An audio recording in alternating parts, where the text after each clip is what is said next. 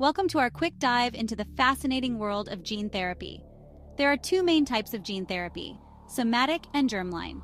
Have you ever wondered how these therapies differ and what they mean for future generations? Somatic gene therapy targets non reproductive cells in our body. This means the changes made by this therapy affect only the individual being treated and are not passed on to their offspring. In contrast, germline therapy targets reproductive cells. This means that any genetic changes made are inherited by future generations. This has the potential to eradicate genetic disorders from a family line. Germline therapy is more controversial because it involves permanent changes to the human gene pool. As a result, it is heavily regulated and subject to ethical debates and stringent guidelines. Creative Biolabs offers a suite of gene therapy development solutions, encompassing the development and production of viral vectors and nucleic acids, as well as in vitro and in vivo studies.